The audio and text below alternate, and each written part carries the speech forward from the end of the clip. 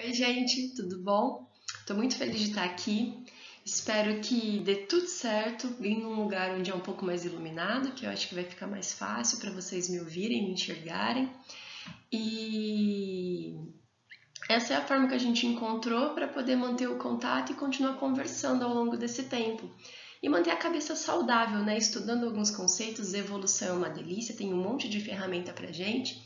E a gente pode continuar vendo essas coisas de um modo mais leve, é, para manter a calma, né, ter um bom discernimento e manter essa orientação de isolamento, né, diminuir os contatos físicos, sociais, para que a gente possa cuidar da nossa saúde e da saúde de todos também que estão ao nosso redor, para que toda a sociedade se cuide neste momento, né?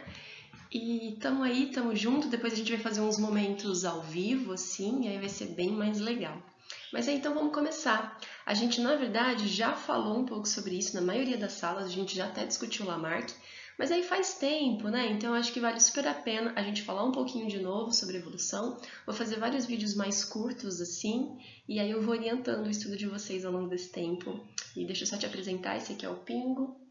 Talvez em algum momento ele olhe pra gente, mas por enquanto ele tá tímido ali. Então vamos lá!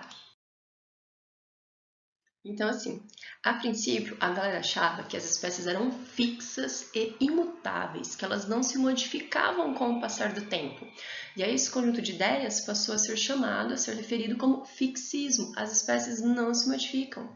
E essa imagem aqui ó, é bem da hora, porque ela mostra que ó, você tinha três tipos, o tempo passou, gerações e gerações passaram e você continua tendo exatamente os mesmos três tipos. Elas não se modificaram com o passar do tempo.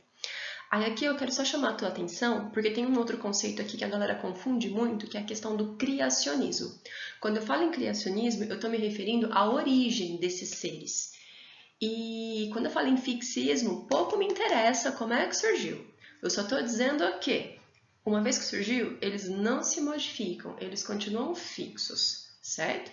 Então, geralmente a gente vê criacionismo e fixismo como ideias complementares, mas assim, são separadas. Bom, mas aí a galera começou, a, a, ciência, né, começou a crescer e tal, começou a se desenvolver. O pessoal viu assim, ó, que o planeta é bem mais velho do que o que eles imaginavam. Então a gente sabe que o planeta tem mais de 4 bilhões de anos. E a geologia também começou a se desenvolver, a galera começou a perceber que a geografia, o relevo muda, que a gente tem tipo montanhas onde você encontra fósseis de organismos marinhos. Então aquilo um dia esteve embaixo do mar e hoje está assim a metros e metros acima. Então você tem uma série de questões que mudam a geografia do planeta, tem fóssil, e aí o pessoal começou a perceber que, pô, os seres vivos se modificam sim. E aí essa corrente de pensamento passou a ser chamada de transformismo, né? Então, assim, ideias opostas ao fixismo. As espécies se modificam com o passar do tempo. E aí esse transformismo acabou dando origem ao evolucionismo. E aqui essa imagem é muito bacaninha, porque você vê que se, ó, você tinha um tipo ancestral aqui atrás, e você tem aqui agora os tipos atuais. Os tipos atuais, eles não são idênticos ao tipo ancestral. Houve modificação com o passar do tempo. E aí você percebe que esses dois que existem hoje vieram desse que existiu no passado. Eles são diferentes tanto entre si e também são diferentes daquele que os originou. E aí você percebe que eles têm características meio que lembram desse aqui que deu origem, mas não são idênticos. Então a gente vai percebendo umas coisas bem chiques aqui, ó. A gente percebe que eles têm características em comum, porque eles descendem de um ancestral em comum que tinha essas características. E aí a gente começa a perceber uma série de coisas e vamos embora lá. Né, que a gente tinha comentado já, é, então tá, vamos falar primeiro o que, que é evolução. Então, evolução é o processo de modificação dos seres vivos. E quando a gente fala modificação, a gente não está interessado em falar se eles ficam maiores ou menores se eles ficam mais simples ou se eles ficam mais complexos. A gente só está interessado em falar que eles se modificam, eles se transformam com o passar do tempo. E aí uma outra coisa importante é que a gente não está falando sobre o indivíduo. Quando eu falo em evolução, eu estou olhando para a população. Então eu olho para a população e vejo que o tempo passa, as gerações passam e essa população vai se modificando conjuntamente. E aí então eu posso falar em evolução. Não é a mudança de um indivíduo, é a mudança da população com o passar do tempo. Para melhor, para pior, tipo, não tem como falar isso, porque o que é melhor e o que é pior é muito subjetivo. Depende sempre do ambiente. Porque o que é melhor para um urso, ter pelos marrons ou pelos brancos? Você vai falar, depende, Naila. Se for um urso polar, é melhor ter pelos brancos. Se ele não for polar, é melhor ter pelos marrons. Então, a gente vai falar que a evolução é o processo de modificação da população e a gente não pode falar que ele faz com que os seres fiquem melhores ao longo do tempo. A gente pode falar que eles ficam mais adaptados. Então, é um processo que leva à adaptação dos seres vivos. E depois a gente discute melhor por quê.